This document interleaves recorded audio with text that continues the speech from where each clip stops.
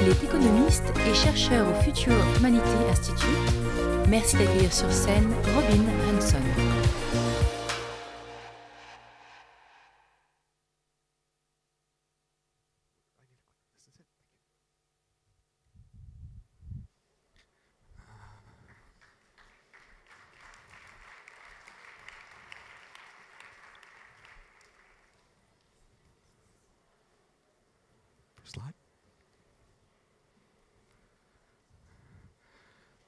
This is all of history in one graph. On the x axis is time, and on the y axis is the growth rate. Both axes have been compressed logarithmically so you can see it all together. History is well summarized as a sequence of exponential growth modes. During each mode, growth was steady, and then there was a sudden transition to a much faster rate. Human foragers doubled roughly every quarter million years. Then, about 10,000 years ago, a sudden transition to farmers, doubling roughly every thousand years. A few hundred years ago, the Industrial Revolution started, our economy doubling roughly every 15 years. If this trend were to continue, then roughly sometime in the next century or so, there would be another transition to a new growth rate that doubled roughly every month. Transition with less than 10 years to that new sudden growth rate, and that would last for only a year or two, and then something else would happen. Sounds crazy, right? What could possibly cause a transition that big? The standard speculation about one of the biggest things that could happen is a transition to artificial intelligence, robots as smart as people. How could that happen?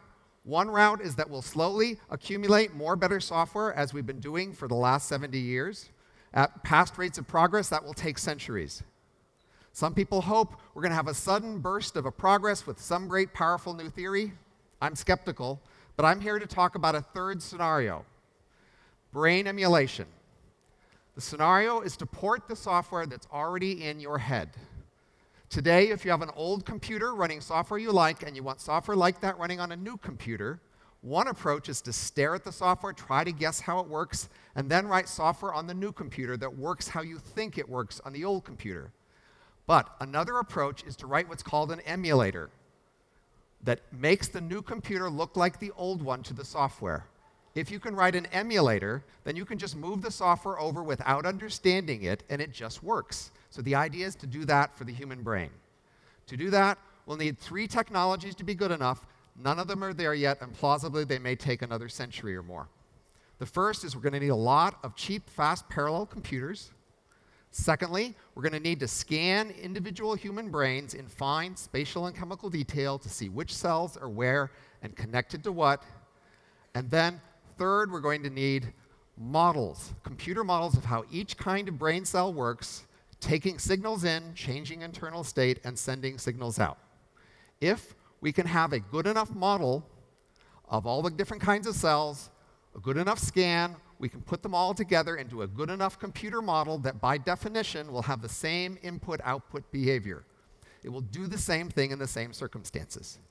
And when this becomes cheap, everything changes. The concept of a brain emulation, I call it M for short, it's also been called uploads, has been a staple of science fiction and futurism going back many decades. When the subject comes up, people usually ask, Can I tell a story there? Is this even possible? If you made one, is it conscious or is it just an empty machine? If you made an emulation of me, is that me or someone else? These are all fascinating questions that I'm going to ignore because I think there's been a neglected question, which is what would actually happen? Most of the people who do technology forecasting and futurism, like me, when I was an undergraduate in physics, they're told social science doesn't exist. They make it up. And so they don't tend to think it's possible to forecast a future like this. And that's why I've written a detailed book that took years where I tried to work out in great detail what this world would look like. And I'm here to tell you what the world's like. However, be warned. I'm not here to inspire you, I'm just here to present analysis.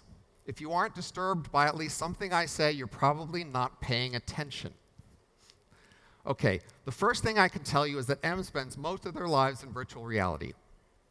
In virtual reality, they never need to feel pain or hunger, grime or disease. Their bodies can always be beautiful. When you're in virtual reality, you notice that it's not real, but for them, it can be as real as this room seems to you. Now, this is what you would look like in virtual reality, wearing some goggles or something. But this is what you would see. You might see the sunlight glinting off the water. You might hear the seagulls above. In, with really good hardware, you might feel the wind on your cheeks or smell the sea breeze. You might need a dashboard to do some things. You might want to call someone, uh, change virtual worlds. You might want to manage your bank account. Now, while this is what you would look like when you're in virtual reality, this is what an M would look like. It really is computer hardware sitting in a server rack somewhere. But from its point of view, it can still see the same thing. And in fact, it has more abilities than you do. It can change its speed.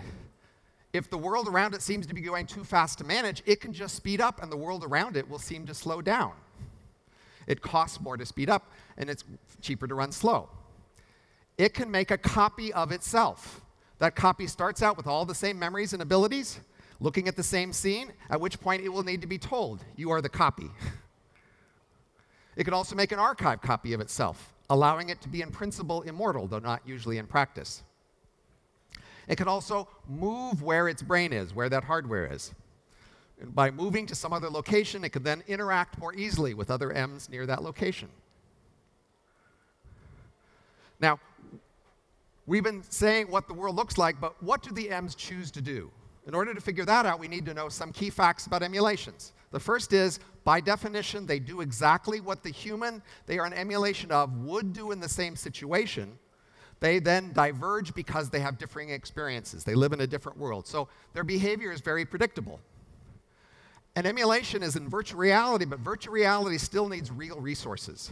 For every minute they experience, somebody somewhere had to work to pay for it. And because it's so easy to make copies of emulations, you just make more computers and copy the software, the population of emulations grows very quickly so that the wages for emulations fall to M subsistence levels. That is, M's have to work most of the time in order to be able to pay for the resources they need to exist. Now, they mostly live and work in virtual reality, which can be beautiful and luxurious, so these are typical emulation scenes. However, they're mostly desks because they're working most of the time. But they're selected for loving their job, so they're not miserable, even if, the, and they're living in this sort of environment. Now, we've been describing emulation's world from their point of view. Now let's stand back and look at their entire world from a distance. First, this economy can grow much faster than our economy does. Because our economy is limited by the fact that population can't grow very fast, even though we can grow capital very fast, our economy can't grow as fast as a robot economy can, which could plausibly double every month or so. Much faster. So, all the change we've seen in the entire industrial era could fit in a year or two, after which I'm not really willing to guess what happens next. That's the entire M era, a year or two. The typical emulation is even faster. I estimate the typical emulation runs a thousand times human speed. And at that speed, their world seems to change more slowly than your world does for you.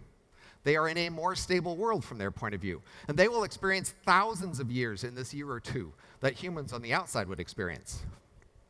Because they can live and work in virtual reality, commuting costs are much less, and so they can probably all cram together into a small number of very dense cities. This is an extreme city of the future.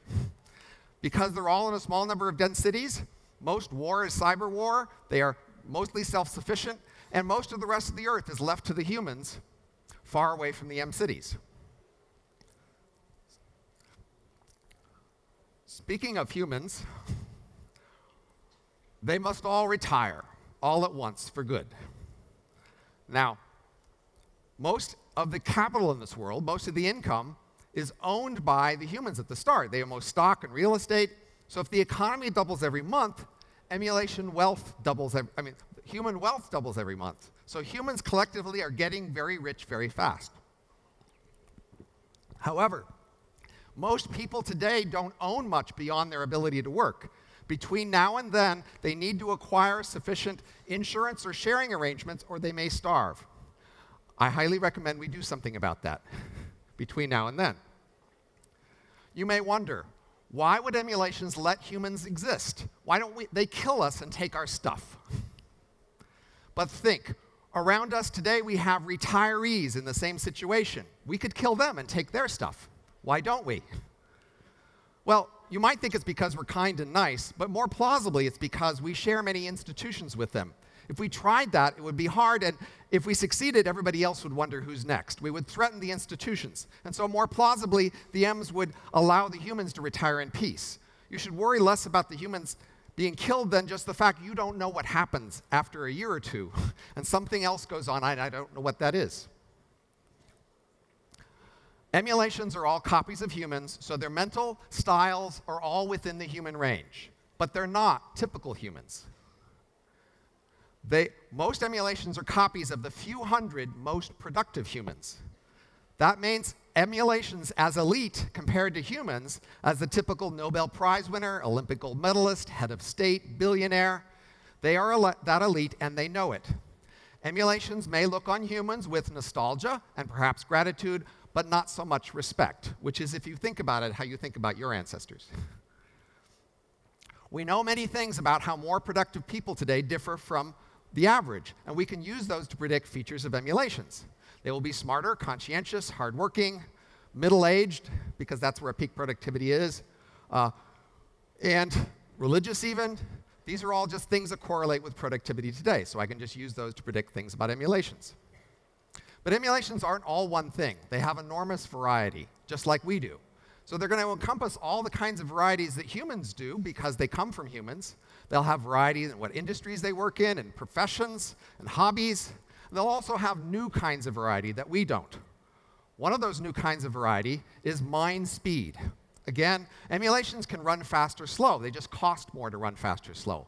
And plausibly, there's a linear range over which you can pay twice as much to run twice as fast that goes up to a million times faster than human speed and down to a billion times slower than human speed. An enormous range.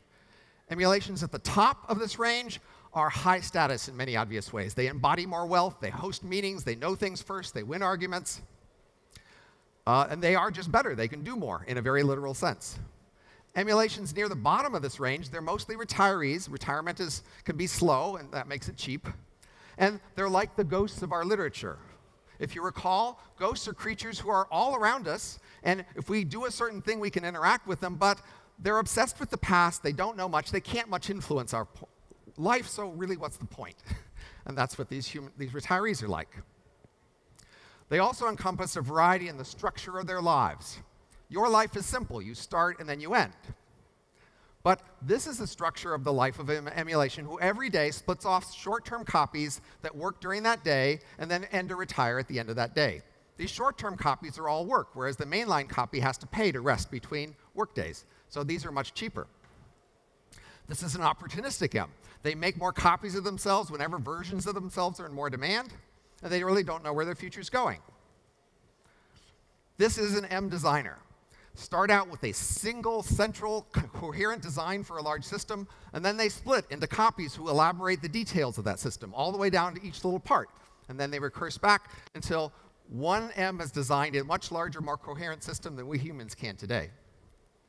This is an emulation plumber who remembers every day for the last 20 years they only ever worked one hour a day, a life of leisure.